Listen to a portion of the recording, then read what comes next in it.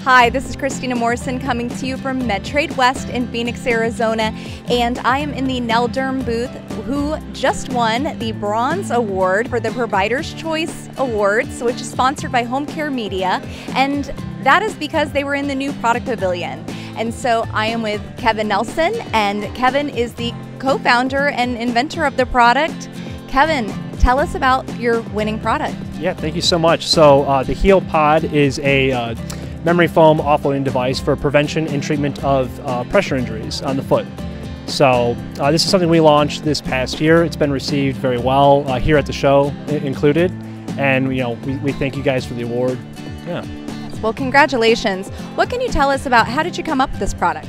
Sure. So, there's a couple things that came together. Uh, what we did during COVID is we pivoted and supplied face shields. We're a medical device manufacturer um, based out of Cleveland, Ohio. Uh, after we did that temporary pivot, we looked at how to get back into wound care.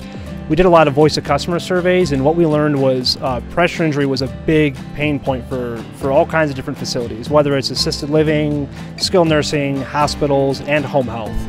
Uh, so what we looked at is like how can we be part of the solution there in that unmet need and so what you see here is a device that we came up with and it's multiple memory foam layers that are comfortable for the patient can float their foot and prevent or better treat that pressure injury uh, my, my co-inventor on this device uh, he's a surgeon uh, up in cleveland and we kind of combined our, our background and expertise i'm an engineer um, and came up with this device well, clearly the attendees were wowed by it. That's why you were voted one of the top products.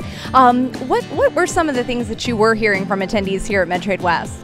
Uh, simplicity, ease of use. So nowadays, especially, you shouldn't try to launch something that requires extensive training or um, expertise and know-how. It should be intuitive, and that's something that was really important to us. It has to be simple, has to be cost-effective, and it has to be hygienic and honestly visually appealing as well. So that was important to you know to us. Well, you, you hit all of them. It's great. Well, Kevin, if somebody was not here and they want to learn more about this product or get in touch with you, how can they do that? Uh, you can visit our website, uh, which is nelderm.com. Uh, you can also reach out on LinkedIn, message me there. Love to connect. Yeah.